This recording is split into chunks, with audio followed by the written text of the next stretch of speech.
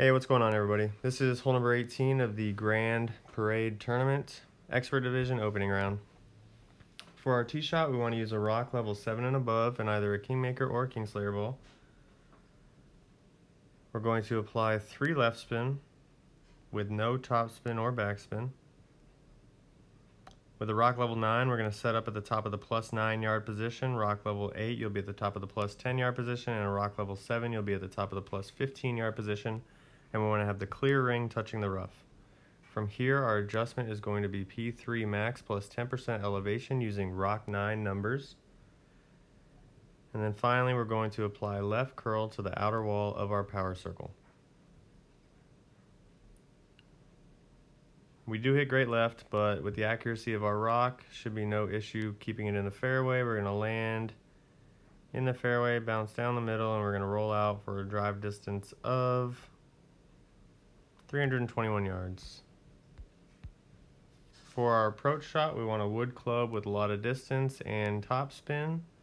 So I recommend Big Dawg level 6 plus or Cat level 5 plus. We're going to apply 6 top spin with 3 right spin.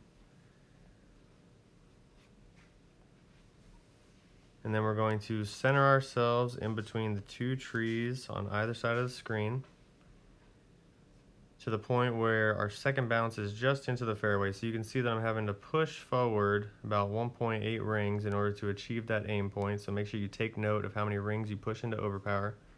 So after your adjustment, you can push forward that many rings. Our adjustment is going to be P5 max plus 0% elevation. And then as I said, I'm going to push forward 1.8 rings Then we're going to apply one and a half ball of right curl. Make sure you don't inadvertently overpower this. We do hit perfect. Ball's gonna land in the rough, bounce out,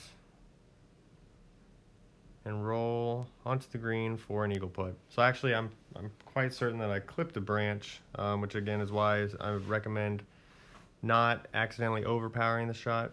And honestly, we probably don't even need to push up as much as we did um, because we just we don't want to fly it into the trees and then end up in the rough. So the idea is that we're just trying to get down by the green in two, whether it be a putt or a chip, and get our eagle and be done.